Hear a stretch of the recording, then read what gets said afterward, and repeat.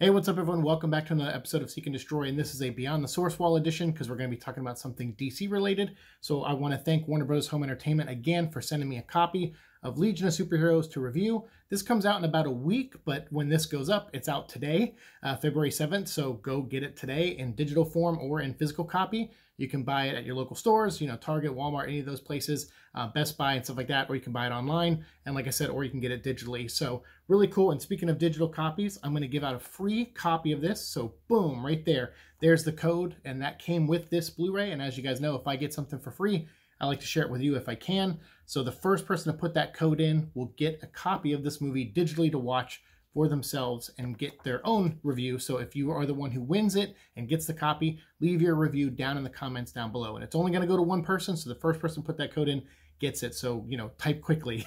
uh, so thank you again. That's just my way of saying thanks for supporting this channel. And like I said, anytime I get a code like that, I try to share it with you guys. So on to this film, we're going to talk non-spoilers, but we might get into spoilers in the comments if people have questions. So, you know, maybe avoid the comment section if you don't want spoilers. But at least for this video, I'm going to keep it spoiler-free and just talk about the film itself, which is set in this newer kind of shared DC animated universe. It's not really overtly spoken that it's shared, but they bring in some of the same voice actors like Jensen Ackles shows up as Batman for a couple scenes in this, including uh, a post-credit scene, which definitely stick around for. And then Matt Bomer obviously shows up as the Flash, who he played the Flash in the World War II, you know, Justice Society movie that they did. So it was cool to get all these people back and, and come back in, uh, but then also have uh, Darren Criss, who played Superman, have him come back and introduce us to Meg Donnelly, who plays Supergirl. And this is a, a slightly different take on Supergirl, but one that you're probably also familiar with if you're a longtime Supergirl fan. Uh, she shows up on Earth. And I've always liked this take on her where she spent most of her life so far on Krypton. So she grew up on Krypton. She was a teenager on Krypton, so she's familiar with Krypton. When she comes to Earth, it's a little bit behind the times for her. And so she kind of struggles with that. And that's kind of the take they have with her in this film. And I got to give credit to the writer of the film, which is Josie Campbell, and also the director, Jeff Wamester, who, uh, who you know, brought this story together. I think it starts off really good. I really like uh, seeing Solomon Grundy. I'm a big fan of Solomon Grundy, so that was cool to see him at the beginning of this and kind of set Kara and where she is as a superhero and where she is as a person trying to fit in on Earth and kind of what Kal has as a backup plan to present to her when things aren't really working out so well. So because she's on Earth, you know, she sees Solomon Grundy and then she sees his this mysterious weapon he has, which comes back later in the film. Um, and as you see when they go to the future and stuff. And then she also sees the appearance of these hooded figures that are, you know, mysterious. And they come back later on in the film too. So again, I don't want to get too much into spoilers, but there's a mysterious group out there that is kind of pulling the strings and has been since this time period all the way into the future. So it's all kind of connected. Um, but then you have Supergirl who's not really doing too well. She's kind of struggling a little bit, um, and she's you know too powerful in in a sense that she's she's not controlling it. I guess she's just as powerful as Superman, but she just can't control it as well as he has because he's had years to develop and and had some training. And she's kind of like, "Where did you get this training?" And he's like, "Well, that brings me to my plan for you. Uh, if you don't want to stick around here on Earth, because Batman is kind of weary of her, she's causing a little too much destruction, and she's not really taking down the bad guys that well." So he comes up with a plan. Superman comes up with a plan based on Batman's, you know, suggestions. And he's like, look, I have this sphere and it can open up a portal to the future because when I was about your age on Earth, uh, I had a group of people from the future come back and tell me that I was going to inspire them uh, through my actions and through being a Superman and joining the Justice League, that I would one day inspire a group of superheroes in the future.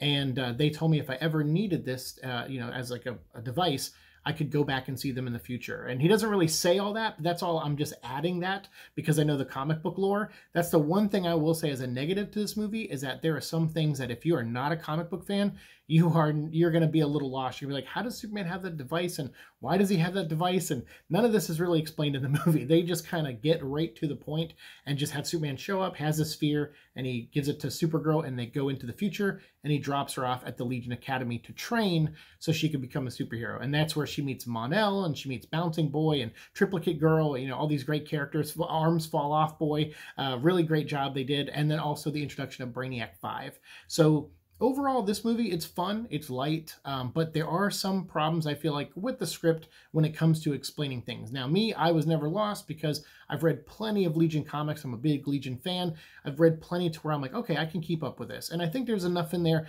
that a, probably an average, you know, fan of the animated stuff might be able to jump in and check it out and go, okay, I, I know enough to get through the story, but I need to go research and see why and answer some of these questions. I feel like there's a little bit of that uh, that's involved with this, you know, this movie overall. But the cast is great. I think everyone does a great job.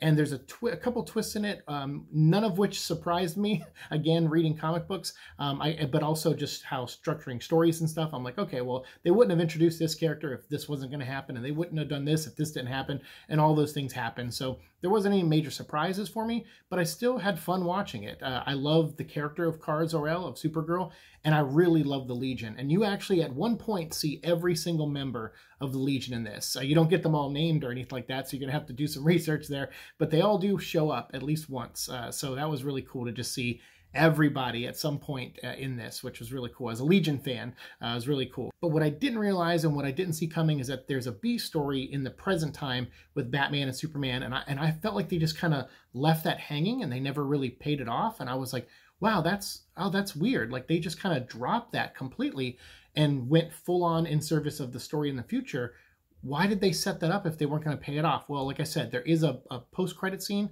they should stick around and watch that kind of you know, builds off of where they left off with Batman in the present day and Superman and the mystery they're trying to solve. And it leads into what I imagine is going to be a big crossover story or a big event or maybe the first Justice League, you know, animated film in this universe. So yeah, plenty more to come, I'm sure. So yeah, I thought this was overall a good time. I think it's worth your money if you want to go out and buy it. Um, I think it's definitely worth that. It should be added to your collection. From all the DC stuff that's been coming out currently, you know, I've had like hit or misses. Uh, Green Lantern, I was like, oh, this was good, and then at the end, I thought it got better. Uh, but I do have a, you know, some people don't agree with that opinion, and you may not agree with my opinion on this one. But as a Legion fan, I felt it did very, you know, it paid a love letter to that source material of these characters. But it got a little violent, and there's a thing in the third act that gets real creepy. It's like body horror creepy, like the thing. Um, and I don't want to say any more than that because I feel like I'm going to spoil like what might be the villain of this. So, uh, so please go check this movie out. It's a fun time. And if you have, uh, you know, similar thoughts on it, different thoughts, whatever it is, let me know down below. And again, if you won that digital code and you got to watch the movie yourself, I want to hear your review down in the comments below. Please leave your review and I will pin it at the top. Um, and if you have any other, anyone else who has a review of this, you want to share your thoughts, let me know down below. I'd love to read them and maybe we'll get into some spoilers down there. But for now, I'm going to go. Thank you so much for watching the show. As always, like, share, subscribe, all that fun stuff, and I'll see you in the future. Peace.